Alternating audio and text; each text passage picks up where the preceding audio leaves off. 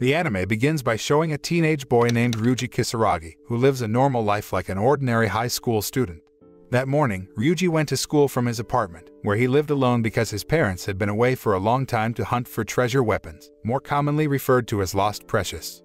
Upon arriving at school, Ryuji meets his female classmate, Misaki Ito, who seems to really like him but chooses to keep her feelings hidden. During the school lessons, Ryuji's female cousin, Eriko Nanao, suddenly bursts into the classroom to pick up Ryuji with the excuse that he has family matters to attend to. Once in the car, Eriko says that the real reason why she picked up Ryuji was that she needed his help to hunt for a treasure with an S-class or the highest class. It turns out that the Ryuji family is a family that has long initiated hunting down ancient weapons or valuable treasures and researching the history of these ancient objects. In this case, the treasure or lost precious refers to valuable objects such as ancient weapons or creatures with superpowers. Ryuji is a treasure hunter or lost precious level 10 who can control the power of a very strong lost precious. That's why Eriko recruited him to become the second member of her organization, Seven Tails Lost Precious. Eriko is Ryuji's cousin who has been abroad for a long time to continue her studies and joins the largest Lost Precious Hunter organization called Society. And now, she intends to establish a branch organization under the auspices of the Society, but her organization still has not received approval from the Society. Eriko then tells Ryuji that she received information that tonight, an evil organization called Fong intends to transact an S-Class Lost Precious with someone. Therefore, she invites him to seize the Lost Precious from the Fong organization's hands so that the Lost Precious is not misused by them. After Fong's organization arrived at the transaction site and retrieved the briefcase containing the Lost Precious, Eriko immediately used her power to make all of Fong's members faint. After that, Ryuji rushed to take the suitcase and brought it into the car that Eriko was driving. Just as they were about to escape from the place, members of Fong's organization suddenly woke up and shot several bullets at the suitcase so that it accidentally opened. It turned out that the suitcase contained a little girl who immediately issued a huge burst of fire from her hands and killed all of Fong's members. After releasing her strength, the little girl suddenly fainted, so Eriko and Ryuji took her to their apartment. When Ryuji, carrying the little girl, and Eriko returned to their apartment, Misaki, who had been waiting for Ryuji, reflexively hid behind the grass. She saw Ryuji holding a girl and kept wondering who the girl was and what the girl's relationship with him was. On the other hand, Ryuji and Eriko are still trying to figure out who the girl's identity is and what is the power of the gold necklace that she is wearing. When the little girl woke up, she hugged Ryuji and repeatedly called his name as if they had met. Seeing this, Eriko asked him to look after the little girl for a while until the society's headquarters picked them up. When Ryuji went out to buy vegetables, Misaki, still waiting in front of the apartment, approached him to hand over his bag, which he had left in the classroom. After returning to his apartment, Ryuji and Eriko had dinner with the girl with the dishes that Ryuji had prepared. After investigating, Eriko and Ryuji finally found out that the girl was the legendary Red Dragon Demon who could be seen from the red side of her hand. While washing the dishes, Ryuji observes the scales on the girl's hands and decides to name the girl Rose because her scales are shaped like roses. The following day when Ryuji, Eriko, and Rose were having breakfast, a helicopter suddenly appeared in front of their apartment. It turned out that the people who boarded the helicopter were officers and researchers from the Society's headquarters who had come to pick up the three of them. After arriving at the Society's laboratory, a male researcher named Tokura immediately observed and examined all parts of Rose's body and found that Rose was a red dragon born from a dragon egg that had been found 14 years ago. Red dragon demon forms usually have a pair of wings on their backs, but because Rose's age is still very young, those wings still haven't fully grown. When Ryuji helps examine the wings on Rose's back, he suddenly has a vision of his past and realizes that he was the first person to find Rose's egg in Albania several years ago. However, after Rose's egg hatched, he suddenly lost consciousness and parted with her. That explains why Rose is so close to Ryuji and keeps approaching him all the time. A few moments later, when Ryuji intends to return home, Eriko asks him to say goodbye to Rose because that might be the last time he sees her before she is taken away by the society. But before Ryuji and Rose could speak to each other, a young man named Onyx suddenly attacked the Society's headquarters and barged into the laboratory. Onyx claims to be a black dragon demon engaged to Rose, and the necklace around her neck proves they are engaged. But Ryuji doesn't believe Onyx's words, so he chooses not to let Onyx take Rose away. Unfortunately, Ryuji's strength meant nothing in front of Onyx, and he could easily throw Ryuji and Eriko to the floor. Seeing Onyx's immense power, Rose decides to go with Onyx to prevent him from hurting Ryuji. After Onyx and Rose arrive at their palace, he reveals that he intends to marry her to gain the combined power of the two legendary dragons, so that he can rob all the powers of the lost precious in the world. On the other hand, Eriko invites Ryuji to enter a special room where he can find a powerful sword that can be used to defeat the Black Dragon. The sword was made of dragon teeth that emitted superhuman strength, and only a high-level lost precious hunter could control the weapon's power. After mastering the dragon sword, Ryuji, Eriko, and several other society officers went to the tower where Onyx lived to save Rose. Upon arriving at the Onyx Tower, Ryuji immediately cut through the barrier in the tower using his dragon sword so that he and Eriko could sneak into the tower along with several other society officers. While the Society's troops were fighting against Onyx's men, Ryuji, Eriko, and Tokura took the opportunity to look for Rose's whereabouts. When Ryuji managed to find her, Rose and Onyx seemed to be getting married at a church. As it turns out, Onyx incited Rose to hate Ryuji by saying that humans hate dragons so much and that humans can never unite with dragons. However, Ryuji tries to persuade Rose and convinces her that he doesn't hate her because he has loved her so much since their first meeting. Ryuji managed to move her heart, and finally, Rose chose to reunite with him so that Onyx's engagement necklace broke so easily. This made Onyx feel so angry that the fight between Onyx and Ryuji was unavoidable. The battle was so fierce that Onyx was forced to change into his perfect dragon form to get Rose back. In that crisis situation, Ryuji started to panic because he realized that his dragon sword would not be able to defeat Onyx, who had transformed into a dragon. However, when Ryuji and Rose put their hands together, Ryuji suddenly gained so much power that he could defeat Onyx with one attack. After successfully rescuing Rose, Ryuji and the others bring her back to live with him. A few days later, when Ryuji returned to the hotel after spending a whole day on vacation at the beach with Rose, he suddenly received a mysterious letter from someone to meet somewhere. It turns out that the person who sent the letter was a white dragon girl named Marguerite, who asked him for help to reclaim her sword from a high-level lost precious hunter named George Evans. Marguerite hears that Ryuji is a high-level lost precious hunter, so she believes he can help her get her sword back. The next day, Ryuji begins to search a town and asks the residents about a church that George is known to inhabit. After finding the church's location, he decided to come to the church alone.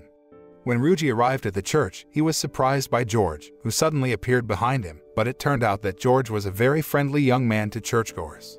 Afterward, Ryuji asked him about the sword belonging to the White Dragon, the Ice Rage sword. George then explains that several years ago, there was a dragon that attacked their city, but a young man managed to defeat the dragon using the sword. From then on, the Ice Rage sword was passed down from generation to generation to every young man who could master the sword so that they could protect the townspeople from the attacks of the White Dragon. George also explained that church leaders have long taught the doctrine that dragons are servants of the devil, so all dragons must be exterminated. Hearing that statement, Ryuji quickly covered the scale marks on Rose's hands when Rose suddenly entered the church so that George wouldn't know that she was a dragon. After that, Rose and Ryuji returned to the hotel to meet Marguerite and tell her about what he heard from George at the church. Ryuji doubted that the sword was the sword of the White Dragon because George mentioned that the sword belonged to the townspeople and had been passed down from generation to generation for a long time. Hearing this, Marguerite tried convincing Ryuji that the sword belonged to her. Not long after, Ryuji's friends came and taught Ryuji to go to the summer festival together. Ryuji deliberately invited Marguerite so that she could be entertained by the festive atmosphere of the festival that night. While having fun playing prize shooting, Ryuji saw Marguerite, who was being bullied by some thugs. He intended to help her and chase away the thugs, but George, who happened to be passing by, chased away the thugs first. George, who did not realize that Marguerite was a dragon demon, fell in love with her. Fortunately, before George realizes that Marguerite and Rose are dragons, Ryuji immediately takes them to the top of the hill. While on the hill, Marguerite tells a story that a dragon once fell in love with humans, but one day the humans suddenly killed the dragon, so the dragons were angry and attacked the humans. Hearing the story, Ryuji realized that there was a resemblance between Marguerite's story and the story George explained at church. Not long after, George suddenly appeared up the hill and approached Marguerite, and it seemed that he really fell in love with her. Ryuji, Eriko, and Marguerite decided to use the opportunity so they could take Marguerite's sword secretly. The next morning, Eriko asks Marguerite to spend some time on the beach with George to distract him from the ice rage sword stored in the church. While George was having fun with Marguerite, Eriko and Ryuji would secretly go to the church to steal the sword. The next day, they began to carry out their plan by inviting George to swim with Marguerite on the beach. Meanwhile, Ryuji and Eriko rushed to the church using Eriko's car because they had little time. When Ryuji and Eriko arrived at the church, an unexpected thing suddenly happened. A thief had already sneaked into the church and intended to rob the sword from the priest. Ryuji and Eriko had no choice but to use their powers to prevent the thief from taking Marguerite's sword. After successfully taking down the thief, the churchgoers and the priest praised Ryuji and thanked him. The church immediately reported the thief to police officers, and George finally learned about the incident from the church. As a result, Eriko and Ryuji's plan to secretly retrieve the sword again failed. When George was in the church, Onyx's men suddenly appeared and told him about the legendary Red Dragon. On the other hand, while Ryuji and the others were discussing, Rose advised Ryuji to tell the truth to George about the dragon sword and Marguerite. But he refuses because if George discovers that Marguerite or Rose is a dragon, George will surely kill them both, because he had been indoctrinated by church leaders to believe that dragons were servants of the Demon King. Rose was annoyed because Ryuji didn't want to listen to her and chose to go to her room. After Rose leaves, Marguerite tells them her sword contains her uncle's soul, who died many years ago. A few moments later, Eriko began to realize that Rose had not yet come out of her room, and after they checked her room, it turned out that she had gone through the window. Ryuji, Eriko, and Marguerite immediately rushed to the church before George discovered that Rose was a dragon. At the same time, Rose, who had arrived at the church, told George that she was a dragon demon, but he was not surprised because Onyx's accomplice had already informed him. What Ryuji feared finally happened. George felt very angry with Rose's presence and intended to attack her. Luckily, Ryuji and the others arrived at the church in time so Ryuji could save Rose. The fight between Ryuji and George was finally unavoidable because George had been affected by the angry soul of Marguerite's late uncle. Ryuji and Rose combined their strength and attacked George with one hit, knocking him unconscious. Even though Marguerite's sword was destroyed in the fight, Marguerite was relieved that her uncle's soul had been freed from the sword. After that incident, George finally realized the truth about the sword and Marguerite, so he began to make peace with her. One day, when Ryuji was about to go to a party held by the society, he met a girl helping a cat from a tree. When he was about to ask if she was going to the society's party, she was silent and left him. While Ryuji is enjoying a party with Eriko and Rose, a young man named Sayaki approaches Eriko and tells her that recently there has been a lost precious thief known as Odd Eye. In the middle of the party, Ryuji again meets the girl he previously saw on the tree, and finally, she finds out that he is a lost precious hunter. The girl suddenly disappeared when he was about to talk to her, and a commotion began at the party. It turns out that the girl is Odd Eye, who has recently been stealing Lost Precious from hunters ranging from Class A to Class S Lost Precious. When the security officers were about to arrest the girl, for some reason, Ryuji even detained the guards so that she could escape. That night, Ryuji suddenly woke up after he heard something from outside the room. When he checks Eriko's room, it turns out the thief girl has reappeared to take Eriko's magic earring. Fortunately, it was prevented by Ryuji and Eriko, who suddenly woke up and immediately caught her. The girl is then tied up and interrogated about the purpose of stealing the earrings belonging to Eriko and the other lost precious. The girl named Ai said that she had an employer, and it was her employer who ordered her to steal a lot of lost precious. After hearing Ai's story, Ryuji advises Ai to stop stealing because he believes she is actually a good person. Not long after, Sayaki suddenly shows up at their place to give Eriko the pair of earrings she lost at the party. But apparently, he only came to bring Ai home and kidnap Ryuji because Sayaki was Ai's employer who told her to steal the lost precious all this time. After successfully taking Ryuji and Ai away from Eriko's place, Sayaki keeps Ryuji in the basement and invites Ai into his house. When Sayaki was out of the room, Ai secretly wore Eriko's magic earring out of curiosity about the power of the earring. It turns out that the earrings can make anyone who wears it hear the voices of other people's hearts, and she was shocked after knowing that Sayaki had only used her all this time. Ai, annoyed that she had been lied to by Sayaki, finally decided to leave that place and save Ryuji.